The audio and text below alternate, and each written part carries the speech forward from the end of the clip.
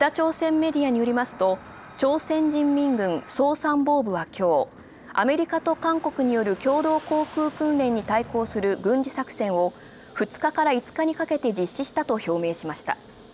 弾道ミサイルや多連装ロケット砲など80発以上を発射したとしています。一方韓国軍の合同参謀本部は今日から北朝鮮の核やミサイルなどを想定した指揮所訓練を始めました。